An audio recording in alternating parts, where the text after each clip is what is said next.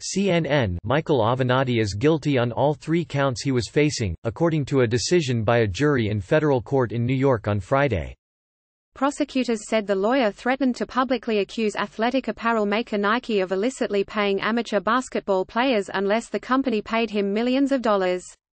The government said Avenatti also betrayed his client, a youth basketball coach who made the allegations against Nike, by advocating for money for himself instead of the client.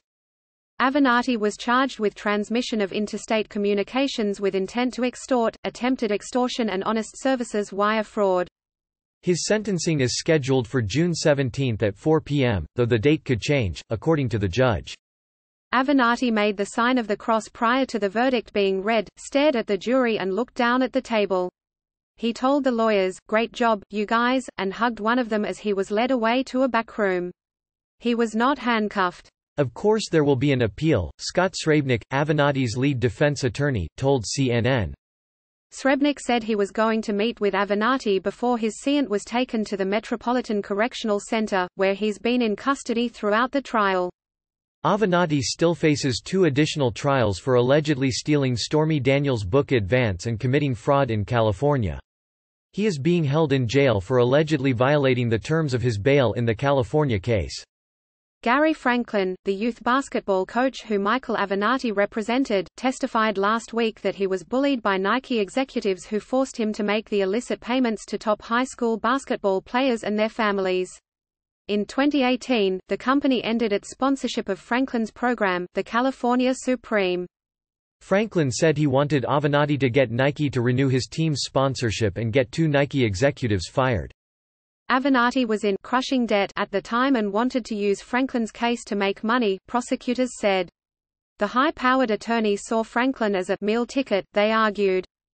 Just watched Who is Michael Avenatti. Replay more videos. Must watch play Who is Michael Avenatti. 126. Nike lawyers who took the stand during the trial said Avenatti told them he would hold a press conference claiming the company illegally paid players.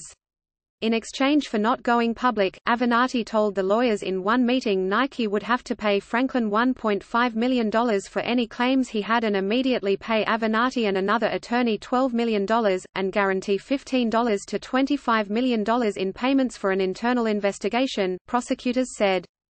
Benjamin Holmes, an associate attorney for Nike's outside law firm who took notes during several of the meetings with Avenatti, testified that it evolved into really a shakedown. Franklin testified he was shocked to find out Avenatti was planning a press conference. Avenatti's attorneys have denied he committed any criminal acts because he was acting on behalf of his client who could legally make demands if they related to his claim. They argued Franklin and his friend, Jeffrey Auerbach, have changed their stories since Avenatti was arrested. Citing previous testimony and text messages between Auerbach and Franklin, defense attorneys said the two men were after justice and hired Avenatti to be Avenatti to get it. They had looked up firms that had successfully sued Nike and said it was time to go after Nike, defense attorney Scott Srebnick said in closing arguments.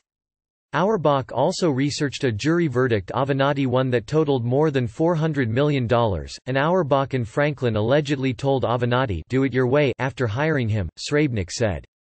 Franklin said he wanted to root out corruption, and Avenatti was on a mission, defense attorneys argued. The only way to root out corruption, the only way to dismiss employees for corruption is an internal investigation, Howard Srebnick, another defense attorney, said. He was on a mission for his client. He was on a mission to achieve the goals of his client, and again he would be paid along the way. Nike issued this statement after Avenatti was found guilty. The verdict speaks volumes. We thank the jurors for their time and service which is the bedrock of the American judicial system. U.S. Attorney for the Southern District of New York Geoffrey Berman issued this statement. While the defendant may have tried to hide behind legal terms and a suit and tie, the statement said, the jury clearly saw the defendant's scheme for what it was, an old-fashioned shakedown.